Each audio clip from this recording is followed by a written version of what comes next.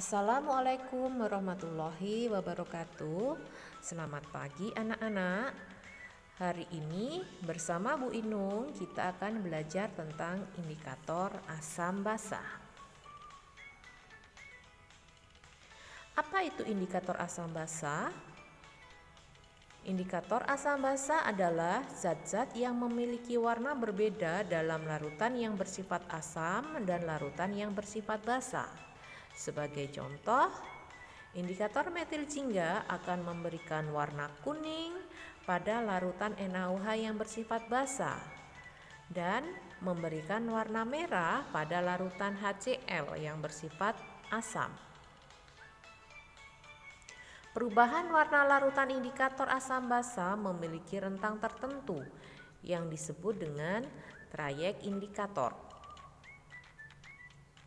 Trayek beberapa indikator asam basa dapat dilihat pada tabel berikut ini.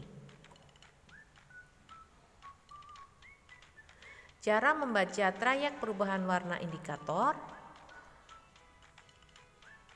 Untuk indikator metil jingga, trayek pH 3,1 sampai 4,4. Warna pada pH rendah merah, warna pada pH tinggi kuning. Jika digambarkan dalam bentuk garis bilangan, sesuai dengan trayek pH-nya 3,1 sampai 4,4. Jika pH larutan kurang dari 3,1 akan memberikan warna merah. Jika pH larutan lebih dari 4,4 akan memberikan warna kuning.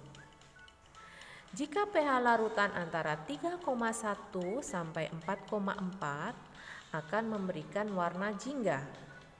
Warna jingga ini merupakan warna antara merah dan kuning.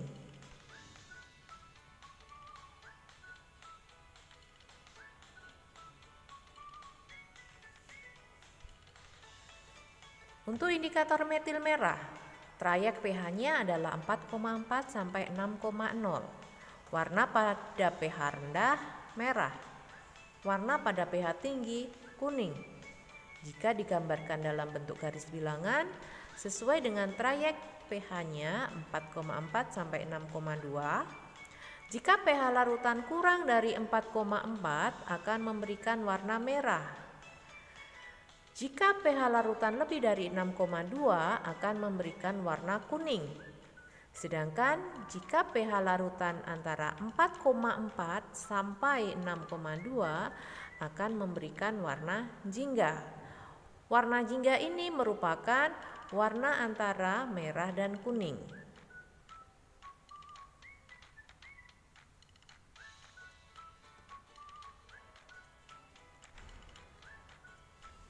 Untuk indikator brom timol biru atau biasa disingkat dengan BTB, Trayek pH-nya adalah 6,0 sampai 7,6 dengan warna pada pH rendah kuning, warna pada pH tinggi biru.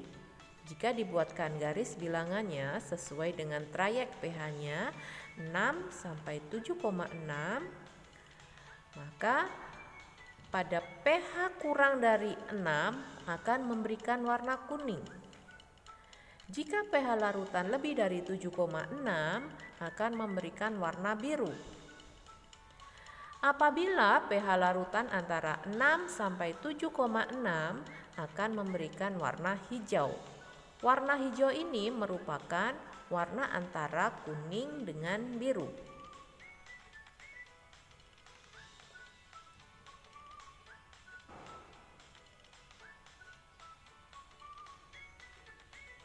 Untuk indikator fenolftalin atau biasa disingkat dengan PP, trayek pH-nya adalah 8,3 sampai 10.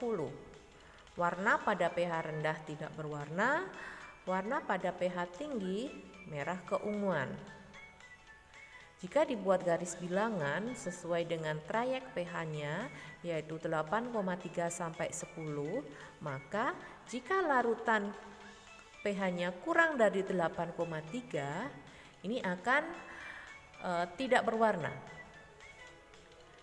Sedangkan jika pH larutannya lebih dari 10, maka akan memberikan warna merah keunguan.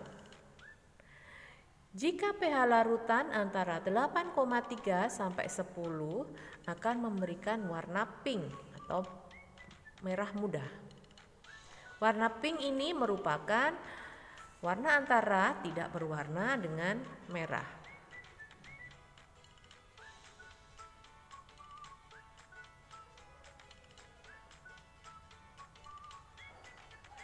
Penentuan pH larutan dengan menggunakan indikator asam basa.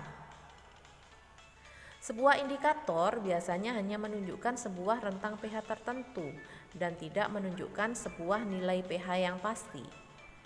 Oleh karena itu, diperlukan indikator lain untuk mempersempit rentang perkiraan pH sampel yang akan diuji. Jadi jangan hanya menggunakan satu jenis indikator, tapi semakin banyak jenis indikator, maka eh, kemungkinan pH-nya juga akan semakin tepat.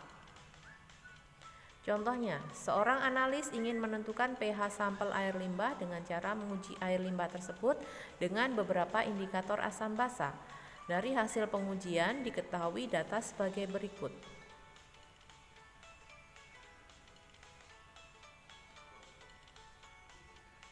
Pembahasannya untuk limbah 1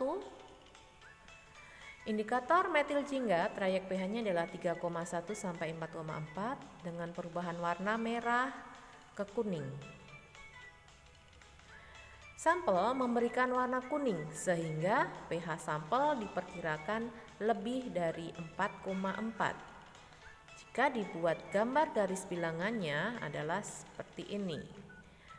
Karena pH-nya lebih dari 4,4 maka kita arsir pH 4,4 ke atas itu berwarna kuning. Indikator metil merah trayek pH-nya 4,4 sampai 6,2 dengan perubahan warna merah ke kuning.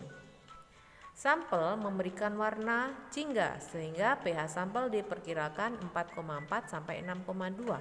Kita tahu bahwa warna jingga itu merupakan warna antara merah dengan kuning sehingga pH-nya diperkirakan antara 4,4 sampai 6,2. Jika dibuat gambarnya seperti ini.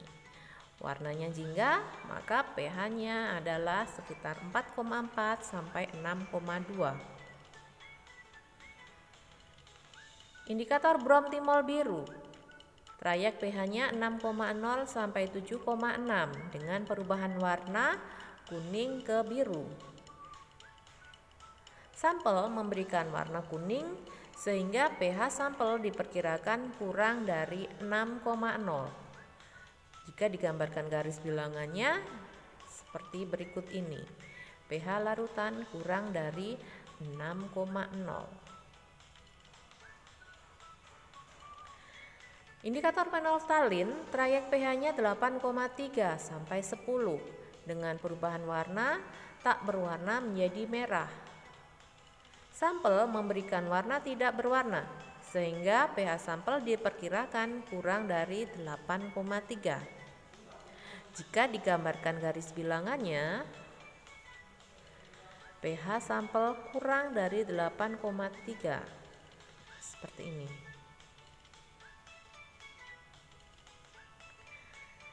Jika gambar garis bilangan digabungkan, maka nah ini tadi adalah gambar dari metil jingga. Perkiraan pH-nya adalah 4,4 ke atas.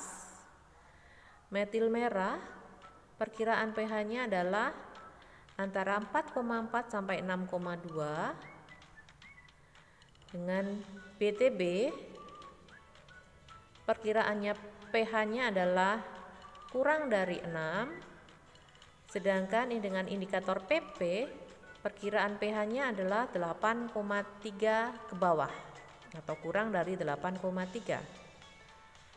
Nah, kita tarik satu garis lurus di mana semua indikator ini terkena arsiran. Nah, kita dapatkan pH 4,4 pada metil jingga terkena, pada metil merah terkena, pada PTB terkena, pada PP juga terkena arsiran. Kemudian pH yang sebelah kanannya itu kita bisa lihat di daerah 6. Nah, pada metil jingga 6 juga terkena arsiran, pada metil merah 6 juga terkena arsiran, pada BTB 6 juga terkena arsiran dan pada PP juga terkena arsiran. Ini adalah angka 6. Sehingga yang terkena arsiran itu adalah pada pH antara 4,4 sampai 6,0 sehingga dapat disimpulkan bahwa pH limbah 1 itu adalah antara 4,4 sampai 6,0.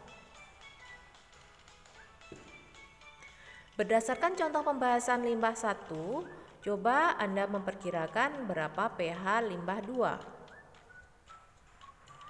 Selamat bekerja dan selamat mencoba. Semoga berhasil.